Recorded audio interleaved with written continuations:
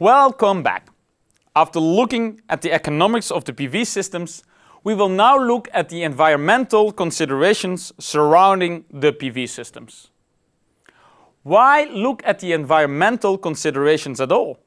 Well, one of the most important reasons for looking at solar as an alternative source of energy was to harness the clean energy from the sun. That is, we wanted to mitigate the energy shortage in the world in a cleaner way.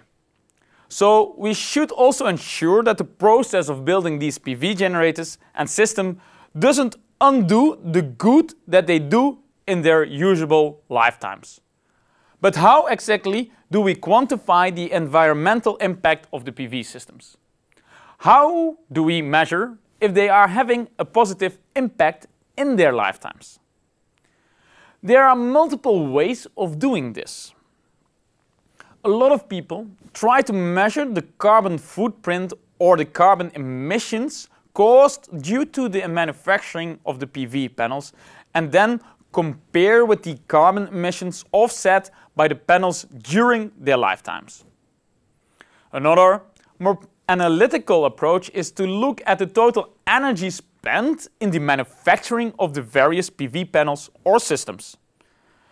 Different manufacturing processes have different energy needs and these are then compared with the clean energy produced by the PV systems over their lifetimes. Some experts also try to do a complete life cycle analysis, trying to trace the energy and carbon footprint of the PV panels throughout their lives, or as in more commonly known, from their cradle to grave. For the sake of this video, I shall cover the energy-based approach. I will first introduce some basic terms that are related to this approach. Let's start with the energy yield ratio.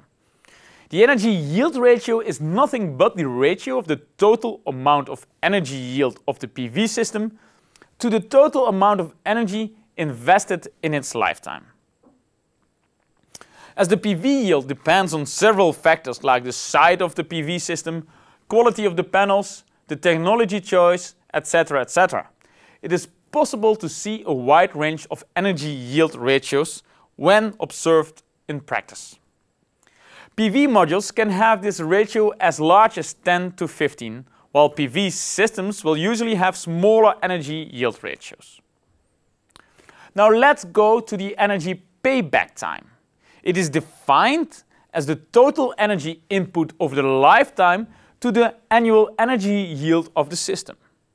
Note that this shouldn't be confused with the system's economic payback period. Usually, the energy payback period of most systems is anywhere between 1 to 7 years, depending on the equivalent sun hours available in the place of implementation. Let's take a look at some of the PV technologies and how they fare in terms of the amount of energy required in their manufacturing. As there can be a considerable variance in the manufacturing processes, the graph shows the range of primary energy use for PV module manufacturing. As can be seen, the thin film technologies like amorphous silicon cost much less energy to be produced compared to the monocrystalline silicon, which can easily consume around 12,000 up to 18,000 kilowatt hours per kilowatt peak. Note that these numbers are often changing and would only read better as the manufacturing technology improves and the processes become more energy efficient. You must remember that the energy spent in the manufacture of the entire PV system would be more than required for the PV modules. However, it is difficult to allocate the exact energy cost to balance of system components like batteries and inverters mainly because the technologies and manufacturing processes for balance of system might vary a lot across the variety of products available. Even so, there have been studies carried out to estimate the energy requirements of the whole PV system. In general, it is found that the energy need for the balance of system is significantly lesser compared to the PV module manufacturing depending on the PV technology and the balance of systems. The graph here shows the energy payback time for PV systems based on two different PV technologies, polycrystalline and thin film amorphous silicon. Also, the time taken to pay back the energy invested in manufacturing the PV module, the module frame and the balance of system is shown.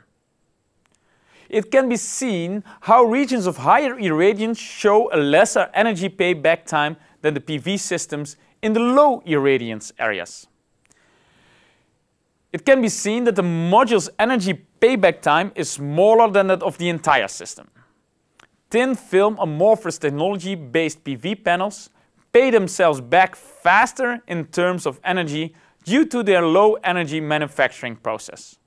However, the balance of system for the PV system based on the same technology have a larger payback time, owing to lower yield of the amorphous silicon panels. In general, the energy payback time across technology and irradiance levels is seen to be between 2 to 6 years.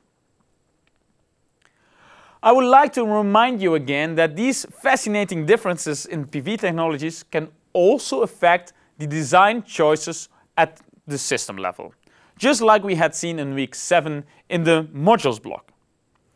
The thin film amorphous silicon panels can work better under diffuse light.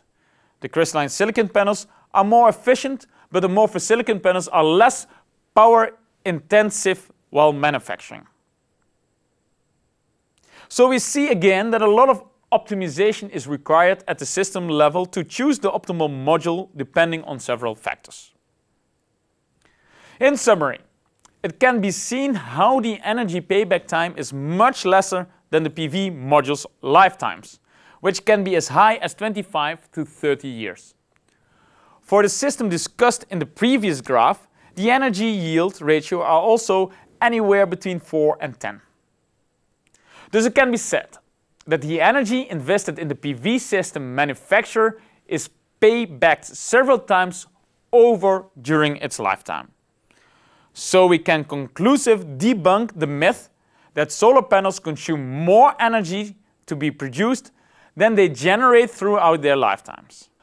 Also, the European Union already has in place several recycling directives that have led to recycle practices in place for the large amount of crystalline silicon panels being used.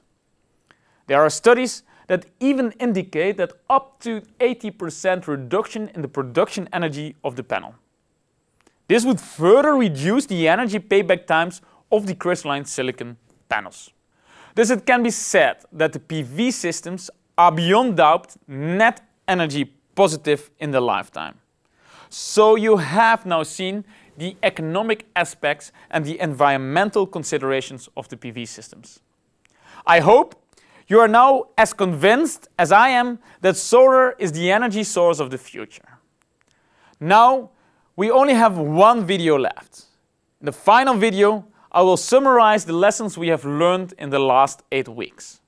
I will share with you my final thoughts on solar energy. See you back in the last block.